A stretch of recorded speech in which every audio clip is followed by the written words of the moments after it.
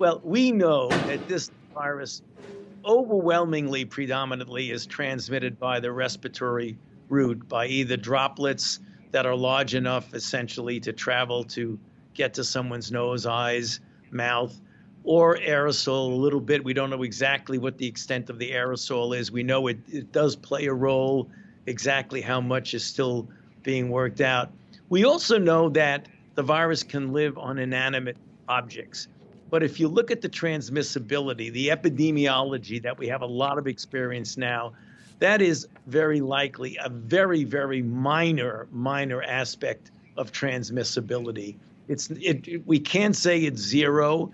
It certainly is real and is finite, but it's minor. So I think we should spend less time worrying about wiping down a grocery bag than we should about just washing our hands frequently. So you ask me what I do when I come from the grocery store or when someone gives me a takeout bag, which I do a lot now because I don't go into restaurants and sit down. I want to keep them going financially, so I do a lot of takeout. So I do have a bag that I bring into my house. Instead of worrying about the bag, I'll open the bag and then I'll just wash my hands thoroughly, which is what you should do. I think doing that natural public health measure and not worrying about touching things uh, things that might or might not have anything to do with transmissibility. Just focus on washing your hands.